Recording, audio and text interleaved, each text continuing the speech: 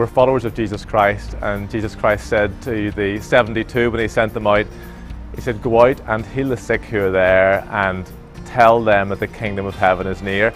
And really, that's what we're doing in terms of the, the praying on the streets. Whenever the team first went out, they perhaps lacked confidence, but in going out now, they're enthusiastic, they're united, and they know that God is working through them. They have people come back and report to them how God has brought healing in their lives emotionally, physically, and in many other ways, and glory goes to God. As Bangor Parish Church, we have street prayer every Wednesday morning, and we meet as a team at the church car park at half past nine. And then we walk down to the main street here in Bangor. We stand outside the Northern Bank, which is very visible and uh, very open to, to the public. We set up our banner, which is very visible as you can see. And uh, we meet together as a team just to pray on the street. And then we invite people to come over and begin to come forward for prayer. But we felt when we're doing it regularly, we do need to be very visible on the street. So we um, invested in the, the big banner.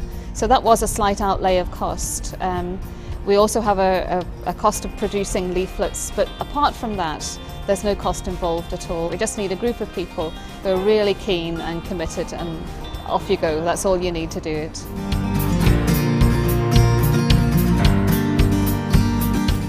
A lot of people are open for, for prayer in Bangor, and the longer that we're here, uh, the more open uh, the thing is, and people get confidence in us and uh, come for prayer. And when I, I was diagnosed with breast cancer last June, end of June, and I've been coming as much as I can just to, to update and for regular prayer. And I think really it, it's, it's helped me in that it's given me strength just to know that God's with me and God's going to carry me through. And it gives you hope just to know that there are people everywhere that are caring and praying for you as well, that you're not on your own in something really big in your life that's going on.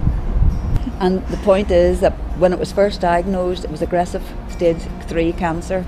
And in all honesty, the, con- the consultant did say that this could progress but in fact it didn't progress in any way at all. It stayed the same, but it's given activity, which is really great. Mm-hmm.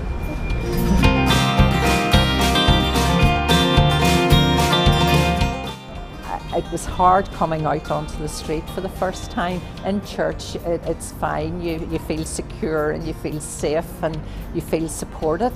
But out in the street, it was really, um, yes, it was scary. But in saying that, the, uh, when, with, when I thought about self, that was me, you know, I thought it's not about me. It's none of this is about me. This is about God, and He will uh, take away all these uh, anxieties or fears or whatever, nervousness even, you know, away from us. And now it is just, I feel it's just such a privilege and such an honour to do this. For us as a team, the most important motivation for doing this was that we got out of the church building and we got onto the streets. And for me, that's the overwhelming reason why this is worthwhile, that we're making contact with people and we're seeing God working in people's lives. And we take that as a blessing for ourselves back into the church and uh, encourages us to keep on doing it.